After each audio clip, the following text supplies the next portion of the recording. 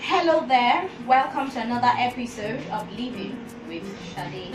And thank God it's weekend. Yes, we cannot wait to enjoy our leisure time, whether it is that you want to read, you want to go out, watch some movies, you just want to stay home and rest from the week's work.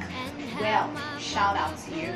And shout out to our 24 7 workers people who work Saturdays and Sundays, yeah, God has got you, and hustle will pay. Now, back to the topic of discussion. Today, the topic of discussion is valuing little things. How to value little things. When this particular phrase pops up, one thing that comes to my mind is Dolly Parton.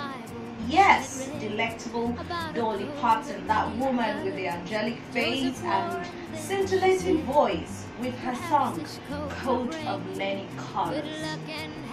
In that song, she described every love that her mother put into sewing that coat. That song depicted appreciation, depicted the attitude of valuing whatever it is that you're given. It is not about how much that thing that you're given is. It is how much the love that is put into it is. How great the love that is put into it is. How much is the effort that person that is giving you that gift puts into it? Are you somebody that receives gifts and feel it's a normal thing and it's your right, so you don't need to thank the giver, or you feel that you don't need to appreciate whatever somebody has done for you?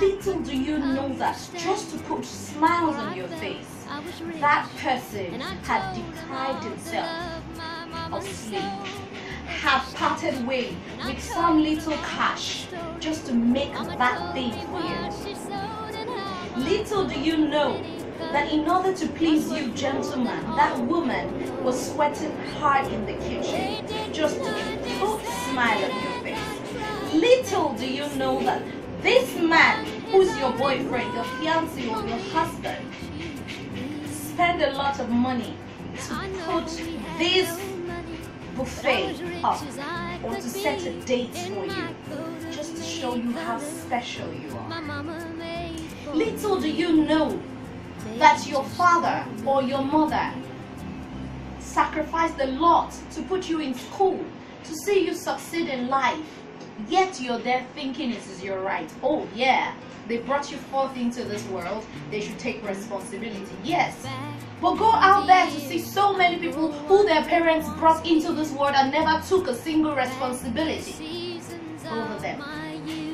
They day in, day out, they beg that God should put their love in their parents' heart to the extent that they will want to sacrifice to make them happy. Go see your mates out there. Yes, their parents brought them into this life too. But they do not, they're not happy.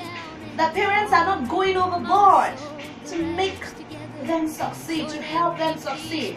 But there you are, you have a father who is ready to sacrifice everything to help you get into the best school, to help you get the best education, to get a good life for yourself. And you think it is a normal thing and it is your right. Yes, it is your right, but appreciate that effort. In order to put smile on your face, to make you better, in order to help you stand equal with your friends or even better, they have sacrificed a lot. Sometimes they don't have anything to eat just to feed you. So don't think that these little gestures are your rights. They're not normal.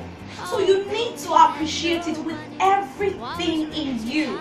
You need to understand that these things don't come for other people on a platter of gold, but there you are getting it. When your man writes out a poem for you or sings a song to you, It is because you are special. They consider you special. And they have given everything to put you in that position. They have sacrificed the efforts they have put in you, the love that they think about when they do these things. It is awesome. So show some love. Appreciate them.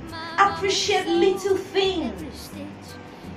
In that song that I talked about, Coat of Many Colors, Dolly Parton explained to us that her mother was given a box of rags, little pieces of box of rags. And then her mother, they were little pieces of many colors, and her mother stitched everything together to make a coat for her.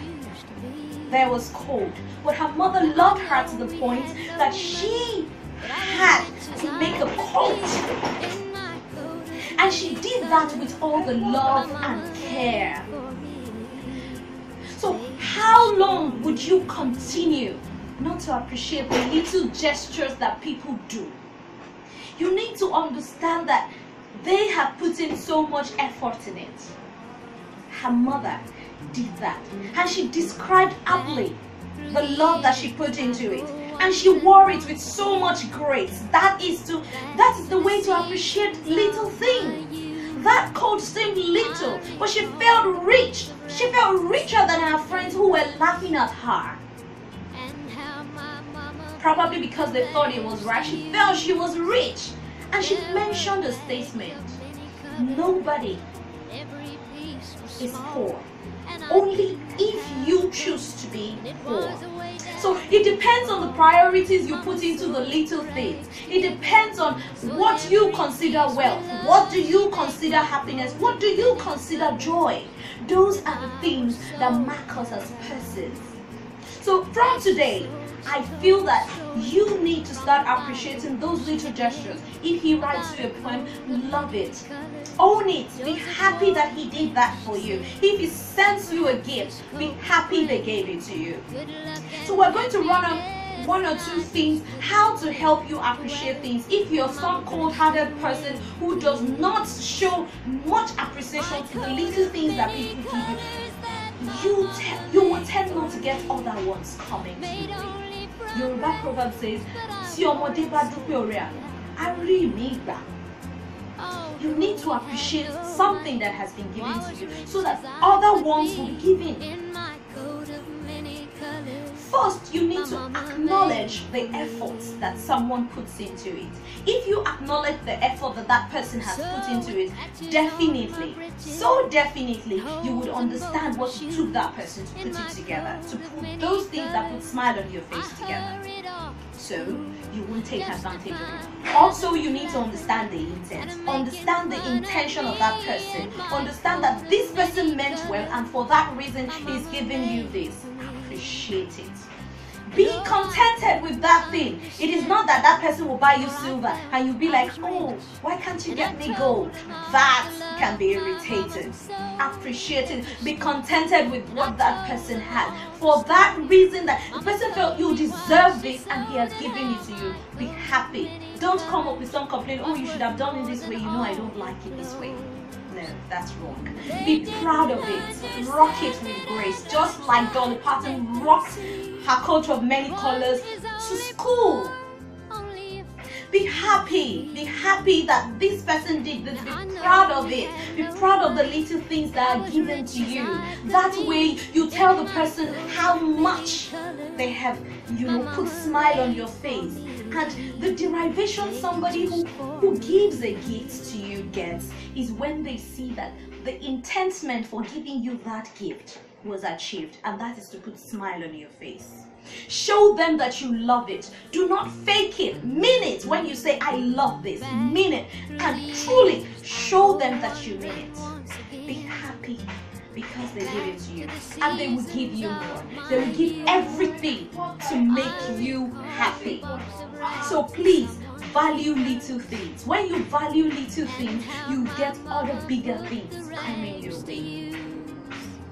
Please try as much as possible to value things that people give you. It doesn't come every time. It is not everybody that you're special to. But those little, those little things that they give to you, the happiness and the joy that they that they derive from giving it to you is when they see you smile. So try as much as possible to appreciate and value little things. Thanks for watching. God bless you till I come your way again.